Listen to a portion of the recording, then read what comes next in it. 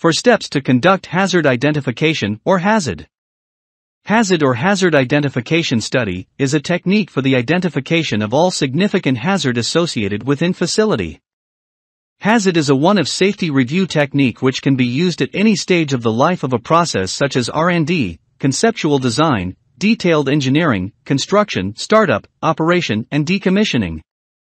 Actually, there are so many of technique available that shall be selected properly according to the objection such as HAZID, HAZOP, FMEA, checklist, what if analysis, and etc. The basic working steps of HAZID are comprised of 1. Preparation 2. Team selection 3. HAZID workshop 4. Documentation and follow-up First step is preparation for HAZID study. A HAZID study is proposed to identify significant hazard to entire a facility, identify major plant conditions or critical operating activities that could lead to an accident and results in injuries, property damage, environment impacts or loss of reputation. So, the required information or knowledge before HAZID study are something about a process, the minimum documents are Major chemical reaction Raw material, intermediate material, product material, additive, catalyst. Material safety data sheet. Critical process equipment. Process block flow diagram. Process flow diagram. And previous accident history. Second step is team selection.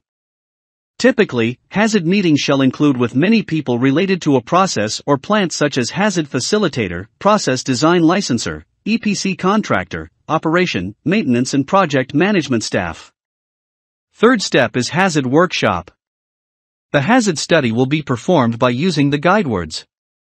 The guidewords that shall be assessed during HAZID study such as external and environment hazards such as lightning, sandstorm, ice, earthquake, subsidence, flooding, fire from adjacent location. Facility hazards such as material characteristic, sources of ignition, reaction, equipment hazard, fire and explosion.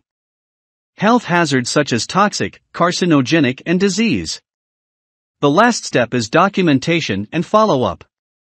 At the end of the HAZID study, the participants team will develop recommendation for a specific action that is need to close, responsibility person who have to close the action and plan date of completion. All the recommendation arising from the HAZID study shall be tracked and monitored to completion in accordance with plan. That was the basic four to conduct hazard identification or HAZID. Thank you for watching the video, please considering subscribing. And see you on next video.